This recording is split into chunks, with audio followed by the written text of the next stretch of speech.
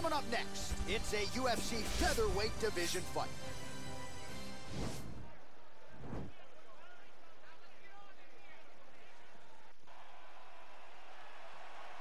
Ready.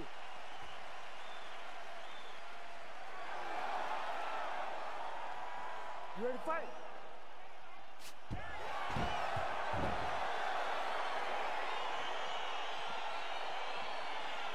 So two truly elite strikers here. We sat down with them on Thursday and asked them any thoughts of taking this fight to the ground. They want to strike tonight. They want to strike. That's what got them to the show.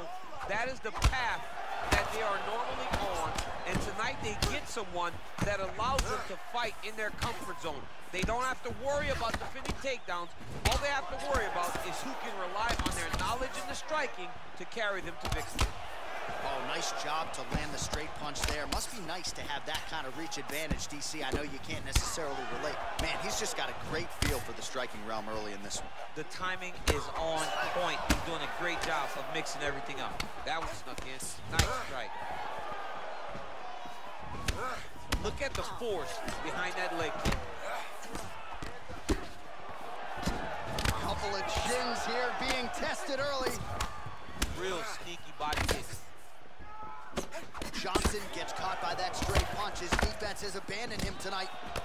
Look at the turnover in that kick.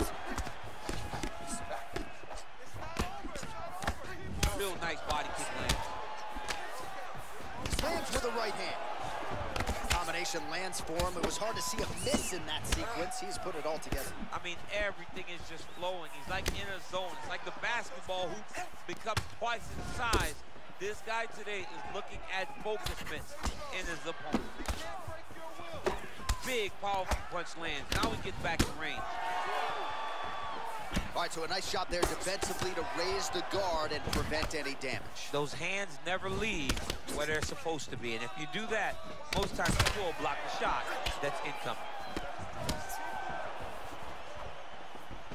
Starting to do some really significant damage. Oh! Finish now because he's got his opponent hurt very bad. Big knee to the body. Huge elbow there. And That he comes knee- through with a big knee. That knee hurt him. Oh, he might be out. Oh, straight right. Nice connection with a punch there. It's hard to recall. That one appeared to stun him.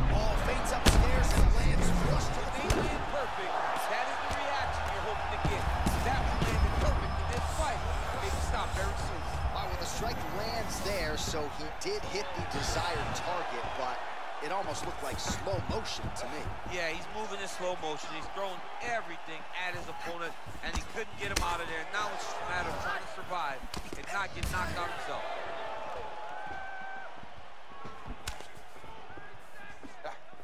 Look at him whip his hip into that kick. Oh, he lands another strike to the body, really starting to connect on a lot of shots to the midsection, and these will take their toll as this fight goes into the latter rounds. Oh, he's had a huge strike right there. I'm not sure how many more of these his opponent can take. Massive shot that he landed. Great job. Watch, so there's the end of the round. He stayed committed to doing damage upstairs and landed a seminal blow in that round. It was accumulation of those strikes. He kept hitting him over and over to the head. Eventually, he found the, the one that really did damage his opponent.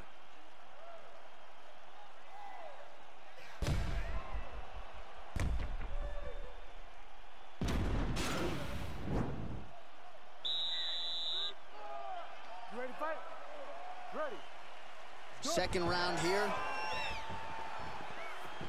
Big punch lands over the top. How's he gonna follow this one up? Connects now with the one-two.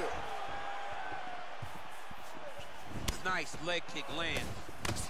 Oh, beautiful jab there. It's one thing to have length, of course, it's another to use it effectively. Beautiful job with that jab.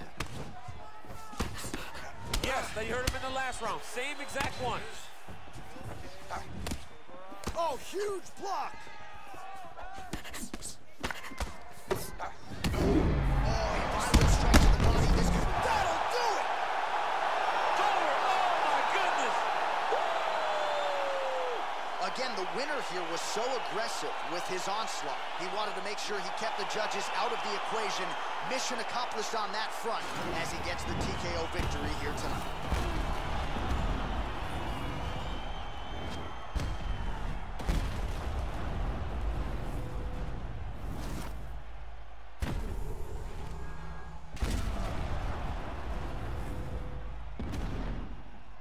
So a big win for him here tonight and an even bigger statement made by virtue of the TKO. Ladies and gentlemen, referee Herb Dean has called a stop to this contest at 58 seconds of round number two. Declaring the winner by TKO, Johnson! Well, the celebration is on over there in the corner, and nothing subdued about it. They put a lot of time into this training camp and into this performance, and certainly their athlete delivered. It was a result that they desired. They said, I don't care